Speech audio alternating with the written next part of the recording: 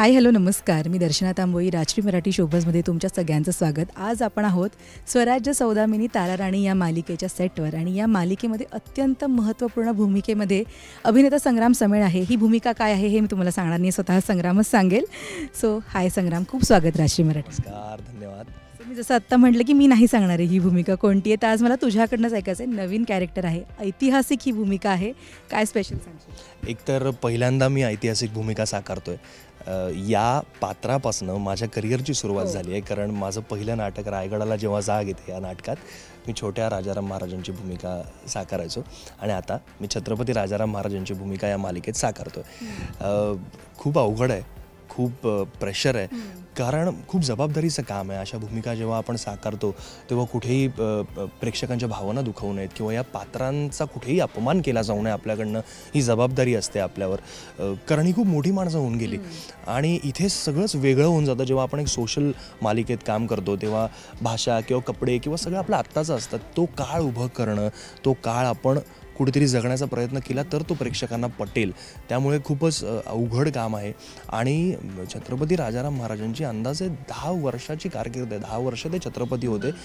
जे दुर्दैवाने लोकांपर्यंत पोचलेलं नाही आहे लोकांना थोडी थोडी माहिती आहे नक्की पण तो त्यांचा अख्खा प्रवास अख्खा इतिहास लोकांना माहीत नाही आणि तो पहिल्यांदा या मालिकेतनं स्वराज्य सौदामिनी ताराराणींचा आणि त्यांच्या बरोबरीने छत्रपती राजाराम महाराजांचा प्रवास प्रेक्षकांना बघायला मिळणार आहे. अगदीच. तू आत्ता म्हणालास की दहा वर्ष ते छत्रपती राहिले. खरंच हा काळ खूप मोठा आहे. बॅकस्टेज तुला एक कलाकार म्हणून खूप मेहनत घ्यावी लागत असणार. वाचन म्हणा किंवा भाषेवरचं प्रभुत्व म्हणा अशा बऱ्याच गोष्टी ऐतिहासिक भूमिकेच्या मागे ओघाओघाने चालत येतात. ती तयारी कशी एक तर मला ही भूमिका साकारायला वेळ असा खूप कमी मिळाला. कारण मला साधारण काल फोन आला. आणि दुसऱ्या दिवशी माझं कास्टिंग झालं आणि तिसऱ्या दिवशी मी शूटिंगला आलो. त्यामुळे मग इथे आल्यावरच मला दिग्दर्शकांनी आमच्या आणि आमच्या क्रिएटिव्ह टीमने पुस्तकं दिली वाचायला. जेवढा इतिहास ते रोज सांगतात. रोज इथे तोच विषय असतो. इथे दुसरं आपलं नॉर्मल सेटवर कसं खाण्यापिण्याची चर्चा किंवा बाकी काहीतरी टाईमपास मग रीलच करतोय आणि मोबाईल तसा प्रकार नाही आहे इथे सतत इतिहासाबद्दलच चर्चा होते. कारण जेवढं आपल्याला माहीत असेल तेवढं कमीच आहे. आणि इथे अजून एक फायदा तो आहे की इकडे तुमचं पात्र प्रेक्षकांच्या डिमांडप्रमाणे बदलणार नाही आहे आठवड्याला.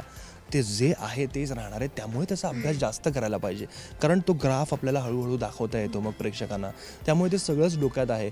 आणि एवढं मोठं पात्र आपल्याला साकारायला मिळतं आहे याचा आनंद व्यक्त करावा का ते दडपण राहावं हे अजून कलाकार म्हणून कळत नाही आहे जेव्हा मालिका टेलिकास्ट होईल मालिकेचा आणि प्रेक्षकांची दाद मिळेल तेव्हाच नक्की कळेल की आपला प्रवास योग्य चालू आहे की नाही ही मेहनत आपण योग्य घेतोय की नाही. तू म्हणालास की तुझ्या करिअरची सुरुवात खरं तर या भूमिकेपासून झाली आणि आता तू छत्रपती राजाराम महाराज साकारतोय. हा एक ही एक जर्नी आहे म्हणजे तेव्हापासून ते आत्तापर्यंतचा.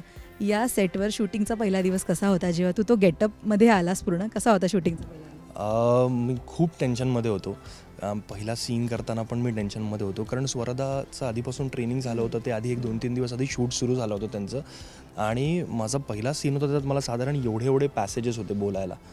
एवढं एवढं बोलायचं होतं मोमेंट्समध्ये आणि मी दोन तीनदा पहिला ब्लँक झालो बोलता बोलता. कारण सम मला काही तो फ्लोच मिळत नव्हता की आपण बरोबर करतोय नाही करतोय काही कळायलाच मार्ग नाही. मी आमचे कार्तिक किंडे दिग्दर्शक आहे त्यांच्याकडे गेलो म्हटलं सॉरी सर मला थोडा वेळ द्या. मी हळूहळू रोळीन म्हणलं नाही हळूहळू होईन. ते म्हणाले नाही नाही नाही इट्स ओके कारण ते आता सलग एवढी वर्ष सगळ्या हिस्टॉरिकल करतायत ना शोज त्यामुळे त्यांना माहिती आहे की यांची कशी फापलते एकंदर. आणि मग हळूहळू त्याच्यात आपण हळूहळू मुरायला लागतो त्या भाषेची हळूहळू सवय होते. त्यामुळे पहिला दिवस खूप भयंकर होता माझ्यासाठी. मजा तेवढीच येत होती पण भीती वाटत होती. आणि आपल्याला सवय नाही ना रिटेक करायची किंवा आपल्यामुळे काहीतरी असं होतं की अरे नाही होत आहे की ही सवय नाही आहे आपल्याला. पण मला वाटतं ती करेक्ट प्रोसेस आहे. तुम्हाला जर पहिल्याच दिवशी सापडलं आणि तुम्ही पहिल्याच दिवशी छान केलं तर मग पुढे कदाचित त्याचं महत्त्व राहणार नाही. आणि की हां ठीक आहे मला येतं आहे अशी भावना कुठेतरी येऊ शकते. ती न येता मी सतत असा राहीन की नाही नाही मला नीट करायचं आहे मला नीट करायचं आहे. ही भावना राहील. आणि ती मला वाटतं पहिल्या दिवसामुळे माझ्याबरोबर राहील सतत. लुकमध्ये सुद्धा तुझे बरेच बदल आज मला बघायला मिळत आहेत या भूमिकेसाठी विशिष्ट काही चेंजेस केले आहेत? एकतर मी फॅट लॉस केलं आहे आणि मसल गेनिंग चालू आहे. मला आधीपासनं वेळ नाही मिळाला फार शरीरावर काम करायला. सगळं लव लगेच लगेच झाल्यामुळे. पण आता ते काम सुरू आहे.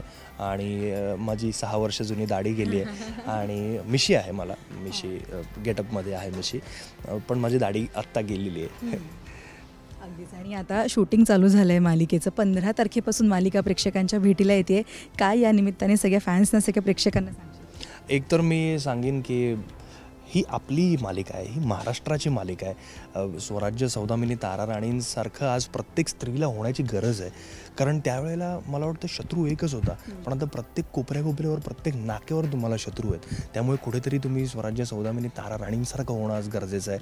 आणि आपला इतिहास आहे. त्यामुळे आपला इतिहास आपल्याला तुम्हाला थोडासा माहीत असेल खूप माहीत असेल किंवा माहिती नसेल तरी या माध्यमातून तो बघताना तो जगायला तुम्हाला मिळेल आणि त्याची मजा तुम्हाला मिळेल. आणि माझ्यासाठी तुम्ही मालिका जर बघणार असाल तर तुम्ही आजपर्यंत मला वेगवेगळ्या भूमिकांमध्ये पाहिलं आहे पॉझिटिव्ह नेगेटिव्ह सगळ्या प्रकारच्या रोल्समध्ये पाहिलं आहे पण हे माझ्यासाठी सुद्धा एक वेगळं पात्र आहे. एक जबाबदारीचं काम आहे. त्यामुळे तुमचं प्रेम आम्हाला मिळू दे हीच इच्छा. अगदी Sangram thank you so much तू इतक्या छान गप्पा मारल्या. आणि नवीन जबाबदारी आहे. जबाबदारीच म्हणेन मी. ऑल द बेस्ट त्यासाठी. Thank you so much thank you so much